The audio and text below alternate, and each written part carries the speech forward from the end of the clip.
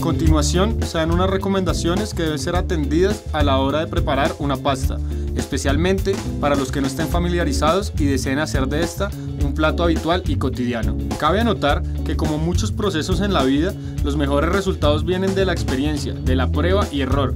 Por tanto, de no lograrse los resultados esperados las primeras veces, es para motivarse a seguir intentando, pues el resultado lo amerita.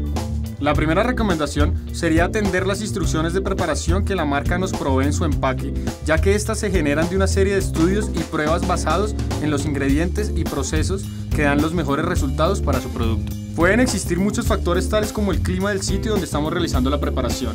Estando a nivel del mar o en ciudades como Bogotá, el agua rompe hervor a temperaturas diferentes, así como la diferencia que puede haber en cuanto a la estufa o incluso las ollas. Los tiempos especificados en los empaques pueden no ser exactos y como consecuencia la pasta puede quedar dura o pasada de su punto, que sería lo peor que podría ocurrir. Por esos factores anotamos estos puntos a seguir como complemento. Primero, siempre usar para la preparación abundante agua, teniendo como referencia una olla casi llena por cada libra de pasta. Segundo, disponemos aproximadamente de dos cucharaditas de sal por cada libra de pasta. Tercero, se hace el agua y solo cuando rompa hervor iniciamos la preparación. Cuarto, en caso de ser la pasta muy larga para la olla, nunca se debe romper. Una vez el agua haya empezado a actuar sobre la pasta, ella cede un poco y se puede con facilidad disponer todo dentro de la olla. Quinto, pasados pocos minutos se mueve la pasta con cuidado para no romperla, buscando que quede suelta para que no se pegue. Sexto, en caso de que nuestra estufa pueda dar un fuego excesivo, lo bajamos para ajustar una temperatura a la cual, mientras sigue hirviendo, no agite demasiado la pasta.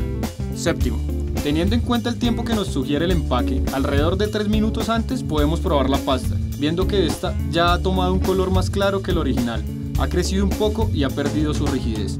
La idea es buscar el punto al dente, el cual se podría describir como que al probarla se puede percibir una resistencia al morder sin que la pasta se quede pegada en los dientes. Ya con más experiencia, incluso se puede saber el punto exacto con solo verla y estando familiarizado con el producto. Octavo, una vez probada, se puede saber si se está a gusto con la cantidad de sal, con la idea de que esta resalte el sabor de la pasta para poderla disfrutar y no solo sea el acompañamiento de la salsa. Noveno. Una vez escurrida, lo ideal es consumir en el momento. En caso de tener que reservar, se debe dejar cubierta y para regenerar usar una sartén u olla caliente, a la cual disponemos mantequilla o aceite de oliva según como se haya preparado la salsa, apenas envolviéndola sin deshacerla o romperla.